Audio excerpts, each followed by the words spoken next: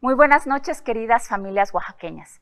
En representación del secretario de Salud en la entidad, Juan Carlos Márquez Heine, como cada semana, los servicios de salud de Oaxaca presentamos un resumen semanal de la situación epidemiológica actual de la pandemia por COVID-19 en la entidad.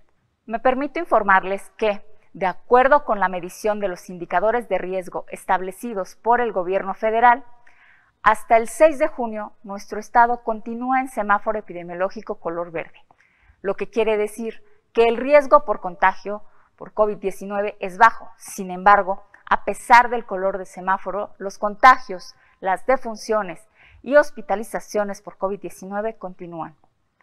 Durante la semana del 16 al 22 de mayo, la entidad registró un acumulado de 46.968 casos confirmados de COVID-19 observando un descenso con respecto a la semana anterior, pasando de 342 a 248 casos reportados en la semana. Por su parte, nuestra red hospitalaria para la atención de pacientes con COVID registró un aumento del 0.5% en el número de hospitalizados en comparación con la semana anterior, por lo que la ocupación promedio fue del 18.2%. De igual forma, esta semana se reportaron 48 desafortunados decesos a causa de la enfermedad.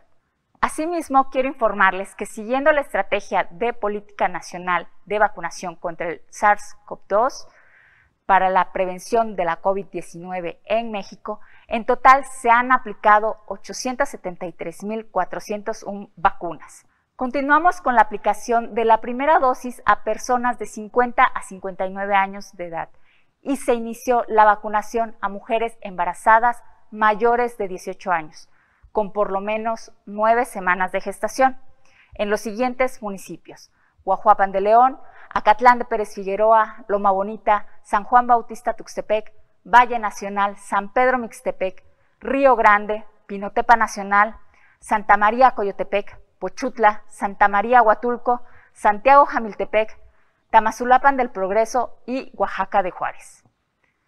Es muy importante recordarles que independientemente del semáforo epidemiológico o de haber recibido la vacuna, el riesgo continúa y debemos seguir llevando a cabo las medidas básicas de prevención, como es el uso correcto de cubrebocas, lavado frecuente de manos, mantener la sana distancia y evitar acudir a lugares concurridos. Solo actuando de manera responsable entre sociedad y gobierno podemos transitar de manera gradual hacia la nueva normalidad. Recuerda que si te cuidas tú, nos cuidamos todos. Muy buenas noches.